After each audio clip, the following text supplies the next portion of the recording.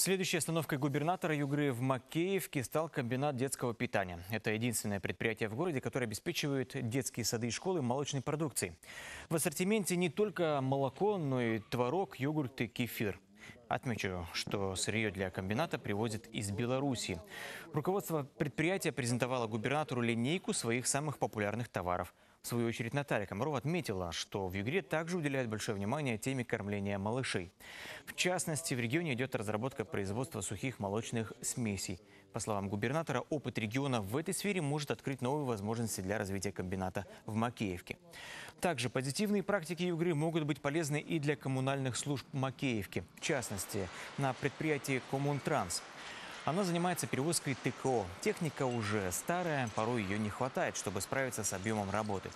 Губернатор предложила помощь горских специалистов в оптимизации логистики.